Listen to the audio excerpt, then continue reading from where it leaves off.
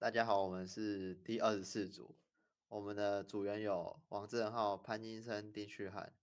那我们 Final Project 是针对 UR 加 FIFO 做优化。好，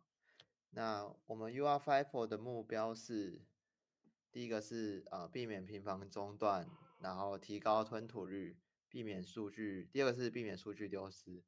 如果没有 FIFO 或者是缓冲区的长度。呃，只有一个字节的话，那么在过程中接收会发生中断，那就是每次收一个字节的时候，我们的数据就会中断一次。这样频繁的中断会占用大量的 CPU 资源。那另外，如果没有及时的读取走数据的话，那下一个字节的数据将会被覆盖，那我们将会造成数据丢失的情况发生。那发生这种情况的几率通常。会发生在这种通讯速率较高的场合下，那因此，呃，加 FIFO 可以大大改善整体的速度和正确性。那简单来说，UR FIFO 可以连续接收好几笔资料才中断一次，然后一次处理处理，来借此提高接收的效率。那我们遇到的问题是，如果没有达到指定长度，会无法中断，呃。那如果 FIFO 的数据没有达到指定长度的话，那我们是会有超时的中断功能加入这个功能，那也就是在某段时间内没有接收到数据时会自动中断。那我们可以利用这个方法把不足以中断 FIFO 的数据量给读出来。那我们解决方法如下，就是用 counter 数到某个数量的 cock 之后，强制 interrupt。那下面这个图是我们的 UR block diagram。那我们这个 UR block diagram 的包含第一个是 UR 的 transmitter 跟 receiver，第二个是 transmitter 的 FIFO 跟 receiver 的 FIFO，那第三个是 baud rate generator。好，那大家看这个图，最左边这个是呃我们使用 wishbone interface 将 CPU 收到的 data ADDR 跟 clock 传入或传出。那中间这两个 transmitter FIFO，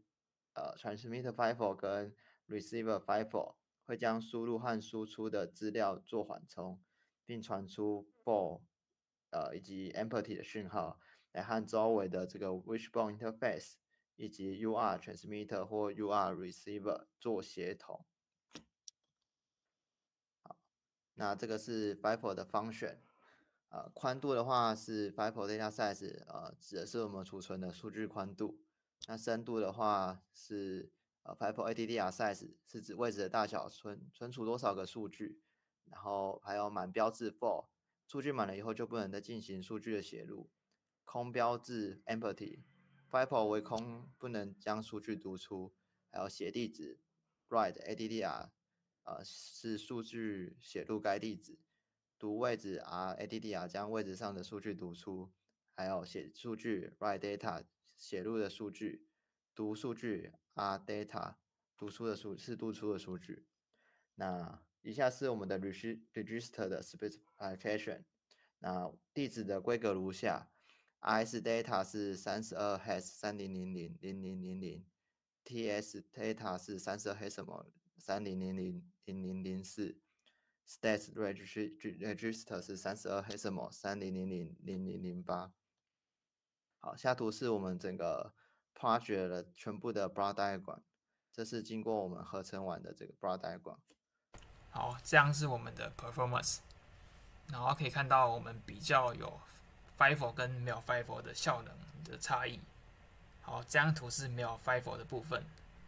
然后因为没有 FIFO 的话，CPU 必须用那个慢速的 clock 传递用传递一位 RT 的资讯，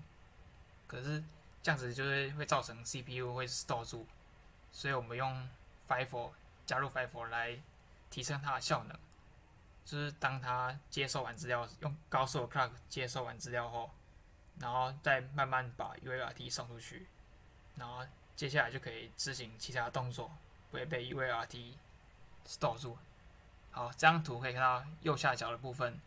就是我们没有 FIFO 的话，它会必须先执行往其他的城市，然后再慢慢慢执行这个 UART 传递从零到八的部分。可以看到这样的效能非常的慢，所以我们改使用 FIFO 的方法来提升效能。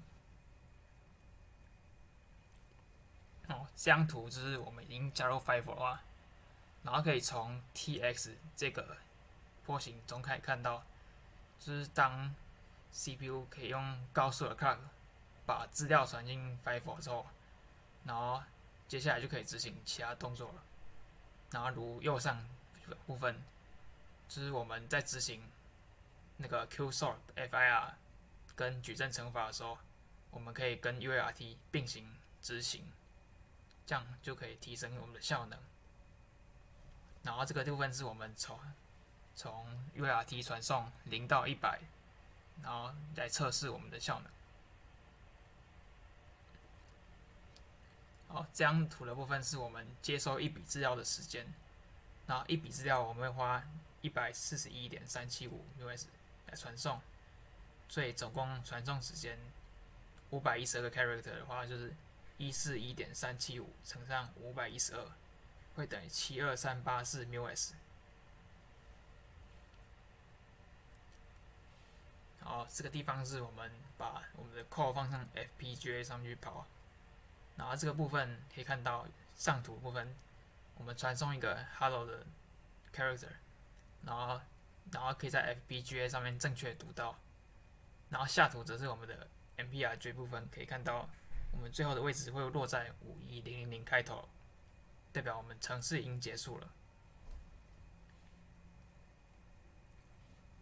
好，这个地方我们来评估我们的效能，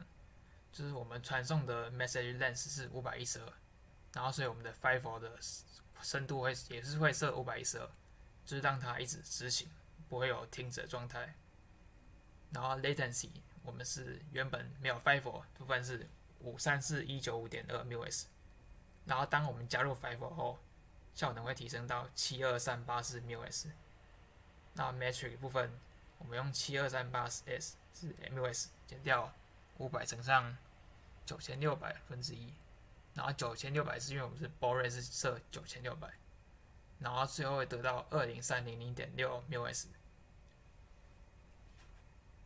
好，这是我们的报告，谢谢大家。